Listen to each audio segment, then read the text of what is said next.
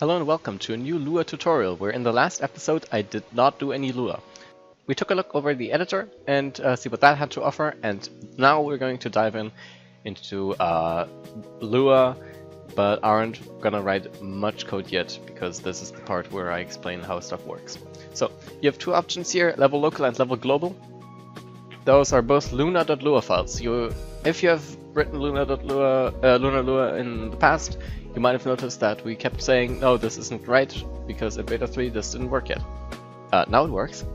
So if you click that, um, your code editor of choice will open with uh, the luna.lua file. Like it's a preset, which looks kind of like this, and for some reason has two empty lines at the, at the end. Um, my editor of choice is Visual Studio Code. Uh, other people swear by um, Notepad++, it doesn't really matter which one you use as long as you use something that is more sophisticated than Notepad, because Notepad can't even properly undo. Which is uh, kind of frustrating if you want to write a lot of code. So uh, before jumping in here, I want to just quickly show what's going on in the file itself, uh, in the folder. Uh, I have the mylevel file, uh, which is the only file I created. I haven't gone into this folder and done anything yet, uh, the save files are stuff that is automatically generated and kept track of as you play. Progress.json is for achievement tracking uh, and is not something you should worry about. Uh, this is for LunaDLL compatibility and is also something that just kind of gets generated.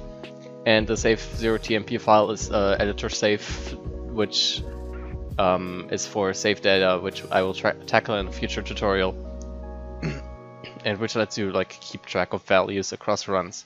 So when I made the tileset in the last episode, uh, it made this folder and put the bush tileset in here, which you can see right here. Uh, they're saved as INI files in the tileset folder, uh, in the uh, level folder, and the Luna.lua file exists uh, in this folder as well. Uh, the level local one is always in the level folder, so one folder down from the level file, and the episode wide one is in this folder, because if multiple levels exist in this directory, they will all have access to it. So, let's go over the basic functions here. Uh, onStart is the code that runs at the start of the level once. Uh, the first frame where stuff happens, this is where you can initialize stuff uh, late or spawn stuff in or take care of everything you need at the start of the level. Uh, onTick runs every frame, on event runs whenever a SMBX event is called. Uh, first, I want to mention that you need to always only have one of these per file, because um, this is like uh, a function that is called from outside. So uh, the way it works is that uh, LunaLua looks at your file, and uh, sees, oh, there's a onStart function here, I will call that. But if you have two onStart functions and say Misc.dialog on start 1, and down here you have Misc.dialog on start 2, then uh, there will be two onstarts in your code, and you will have onStart 2 running as the only one. Because the uh, latter one overrides the former one, so to speak. Because they share the same name and you can have only one thing with one name. So on, on one just runs now, and if you want both of these dialogues, you don't copy onStart, but you have both of them like after each other in, on, uh, in onStart. And since the code runs from top to bottom, um, that's how it works. Yeah, that just gave, gave me a warning because I had multiple onStarts, so that's also a good way to find out when uh, there's a problem in your code. So onStart 1 and onStart 2 now run in succession. Same way, uh, of course, you want all your code in onTick to uh, just be in one single onTick uh, running from top to bottom in whatever we already needed. Often not necessary, but sometimes uh, life-saving. So uh, I want to focus a little bit more on event because it's like the oddball in here. Uh, in that it doesn't just run in its own environment, but rather uh, related to some uh, SMBX internal code.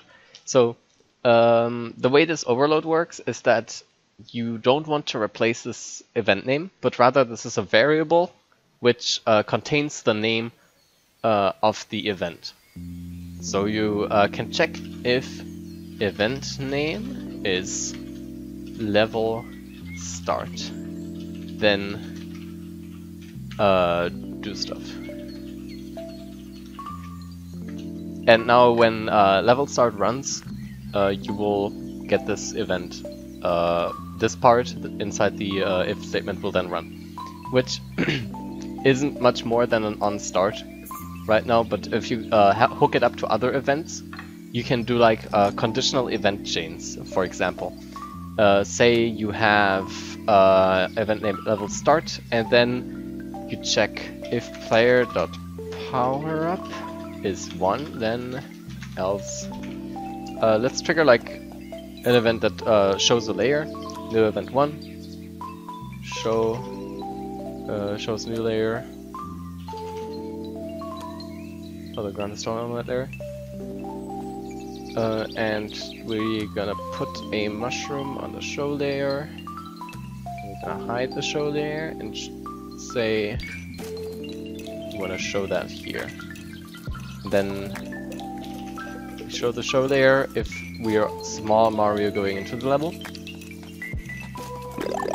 There was our mushroom, and if we go into the test menu and uh, change the power up to be Big Mario, then our mushroom will not show up. Just as a simple example for how an event can be used quickly to uh, make like conditional event events happen.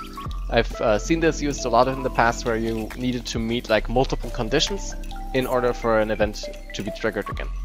Uh, this is the standard setup for uh, Luna.lua, and um, next time I'm going to go further in depth to uh, how variables work, what you can do with them, and uh, what maybe one or two more functions uh, that Luna Lua provides you. I hope you learned something today, uh, and I'll see you next time.